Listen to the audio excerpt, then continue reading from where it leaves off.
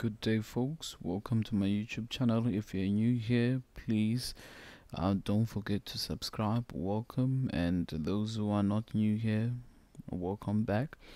I'm doing the the prelim exam of the 2024 in Gauteng province. It's a very interesting question. Now it says a battery with an unknown EMF right um, and internal resistance of 1 ohm is connected to three resistors a light bulb, a high resistance voltmeter, a switch, and an ammeter of negligible resistance as shown below. The resistance of a light bulb is 4 ohms, and the resistance of the three resistors is 3 2R, 1R, 6R, respectively. Guys, let's look at the circuit. Very important. Um, in the circuit, we have um, I don't know what is why is doing that. Yeah, in the circuit here we have a battery with an internal resistance, right? And then there's a voltmeter that is connected across the terminals of the battery, and there's the bulb, and we can see the parallel there. There's a switch, and we're given the ammeter there with the reading there, right? Guys, let's let's look at the current. The current is going to move from the positive terminal of the battery. It's the total current, right? It's the total current. And then when it gets to that junction, there's a split. There is a fraction of the current that will go through there. Okay, let me, it will go there and there, right? And part of the total current, there is a current that is going to go that way and that way and that way which means that these two lines are what? Are parallel. And then it combines together and passes the light bulb right? And the light bulb there's a total current that passes here. So now we can conclude that this circuit is a combination right? So guys now if you look at the two resistors the R1 and R2 they are in series in a parallel line. So this is series to this one. So the combination of these two they amount to this one right? They are no no no. The combination of these two resistors they are parallel to this one right? Even in the voltmeter, do you know the voltmeter in parallel section is equivalent? So the voltage here and the voltage here are equal. But at that voltage, the voltage of this plus the voltage of this is equal to that right very important so now what do we have this ammeter reading it reads this section of parallel it says it's 2 amperes so the current that passes here out of the total there it's 2 amperes now let's look at, this R3 we're told R3 is 6 times R and then this one is 2R and this one is 3R in total they make what? 3R which is the 3R is the half of what? of 6R all right. So the smaller the resistance the bigger the current.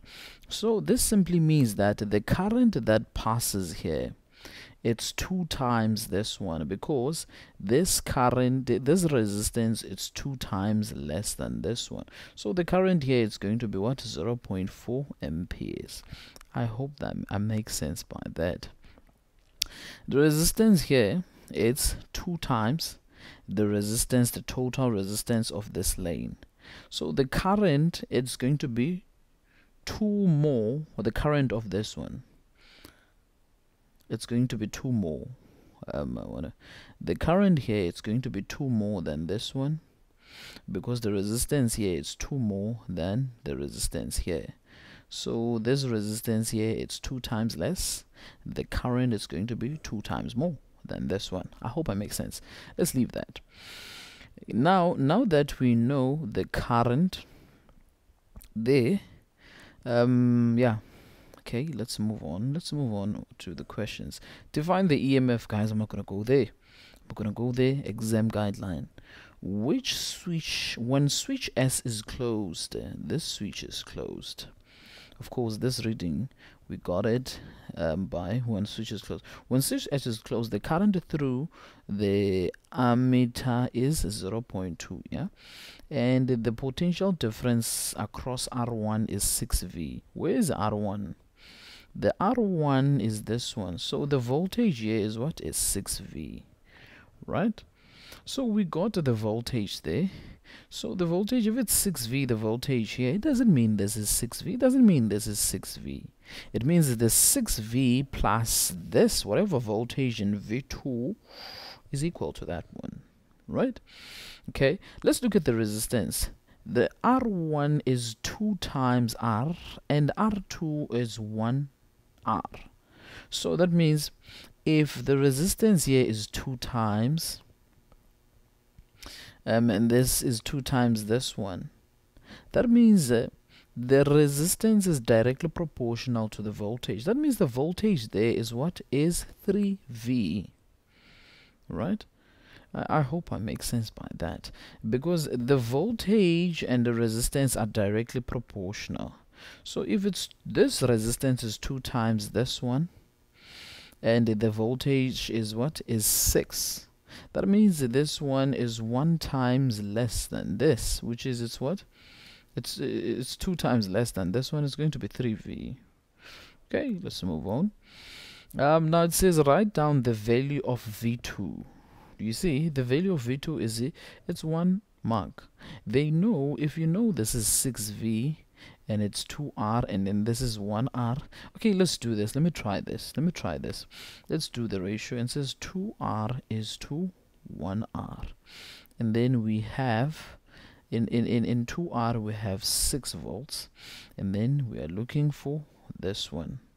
So when we cross multiply there I hope I hope I hope um, it's gonna work. 2rx is equal to 6 times is going to be 6vr and then what do we want? We want x we're going to divide by 2r we divide by 2r and then this and this will cancel. So yeah it's, it's working. So this and this cancel it's gonna be what? 3v okay perfect. Okay this is 3v that's how we got 3v so the answer there is what? It's 3v and then the current through the r2 where's r2 we want the current that passes here. So if the current uh, um, yeah as i've mentioned guys here that the current here it's gonna be it's gonna be 0.4 volts. Um, it's 0.4 volts. Um, I'm not gonna show you 0.4 amperes I'm not going to show you how to do that guys. It's one mark. You can figure it out how to do that one. Okay let's go to 8.3 it says calculate the resistance of what? Of R3 right? The resistance of R3 8.3 so we're looking for so we're going to use the formula V is equal to IR we are looking for R3 and do we have the voltage here? Yes, we do. If the voltage of R1 is 6V and the voltage of R2 is 3V, the combination of the two makes what? 9V. That means this one is what? Is 9V. Why? Because the voltage in parallel is the same. So we're going to say there the voltage is 9. We divide by the current and the current that passes here it's 0.2. Um, so when we do that, the answer it's going to be what? 45 45 watt ohms. So the resistance here is 45 ohms right? And uh, now let's let's go to 8.4 8.4 it says calculate the value of the EMF right? The value of the EMF do we have the total current? Yes, we can have the total current. This is 0 0.4 and 0 0.2. When they combine, they give you what? 0 0.6 amperes. That's the total current, right? Do we have the external resistance? The external resistance we do not have, right? We do not have. So let's first calculate what is the resistance here what is the resistance for R1 and R2 right? Um, the way we're going to do that it's very important to understand okay let me erase this now because it's so dirty. Let me write the important this is fixed v and this is going to be 3v and this is going to be 9v and the resistance here is 45 and the current here is 0.4 amperes and yeah. Yeah. And uh, we want from this formula we're going to use calculating the EMF EMF is equal to I R external plus R internal. Let's ask ourselves what do we have? We're looking for this. We have the current. We don't have that. We have that. So that means the first thing that we have to do to calculate there the external resistance which is the external resistance. When I talk about the external resistance I'm talking about this parallel plus this right which is going to be this right? So let's calculate the R which is the R external which is the R external is made up of the R series which is the light bulb plus the parallel which is um, this. But remember we must add these two. And then plus the R parallel so the R the R series is the light bulb which is 4 plus. The R parallel remember I must add these two right? I must add these two. Um, okay. Let me say R series so that you can have an idea of what I'm talking about. Plus um, when I add those two it's R1 plus R2 so I'm gonna add R1 okay let me make a small bracket. R1 plus R2 times by R3 I'm making the parallel. And then R1 plus R2 plus R3 and then I substitute the parallel the series. The series is 4 and the R1 ah, the R1 I do not know right? The R1 I do not know and it's very important. The R1 I do not know how I'm going to get the R1 first. Now I know the current that passes here right? I know the current that passes here. Okay how am I going to get it? How am I going to get it? Okay let's do this way let's do this way. So um, I'll calculate the R1 first V over I which is do I have the voltage there? I have the voltage here for R1 it's 6 I'll say 6 divided by 6 divided by the current at 0 0.4 6 divided by 0 0.4 let me press it in the calculator 6 divided by 0 0.4 which is going to be 15 ohms. So the current there it's 15 ohms. And then R2 it's going to be and the voltage. What is the voltage in R2 it's 3V it's 3V divided by 0 0.4 3 divided by 0 0.4 it's 7.5 7.5 ohms. I'm gonna show you the other way to do that. So let's it's gonna be 15 R1 times 7.5 why do I make this big bracket? It's wasting time. It's 15 plus 7.5 um, times the R3 the R3 is 45 remember? It's 45 45 ohms not V 45 ohms divided by 15 plus 7.5 uh, plus now. Plus 45 remember this this section guys you can do it by using 1 over r1 plus 1 over r2 that you can do that. Um, then when you punch that in the calculator you get 19 ohms. You get 19 ohms.